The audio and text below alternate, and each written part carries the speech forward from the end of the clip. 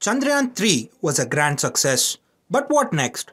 The Federal has already done a video on India's forthcoming space missions.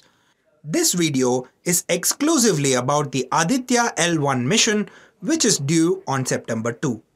Aditya is ISRO's mission to the Sun. This mission aims to study the dynamics of the Sun's outer atmosphere and the factors that influence space weather.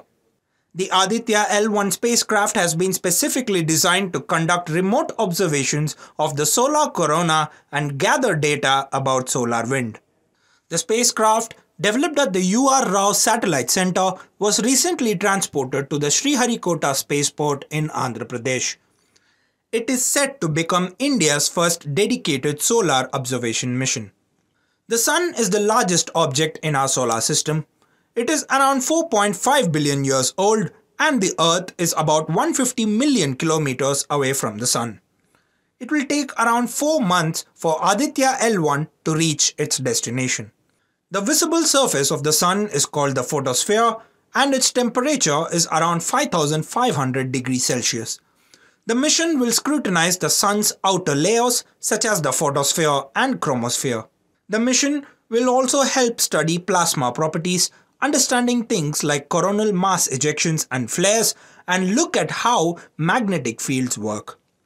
By understanding how the sun acts, we can reduce the possible effects of space weather events. This will protect important communication networks and technology on Earth and other planets.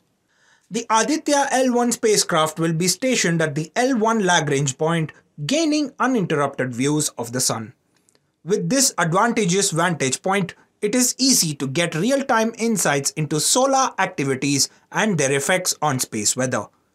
Upon reaching there, Aditya L1 will use gravitational balance to conserve fuel. The spacecraft is equipped with seven distinct payloads including electromagnetic, particle and magnetic field detectors. As for the financial aspect, the Aditya L1 mission received funding equivalent to around $46 million in 2019. However, ISRO hasn't provided an updated cost estimate. Aditya L1 has evolved from a small experimental project to a comprehensive solar observatory.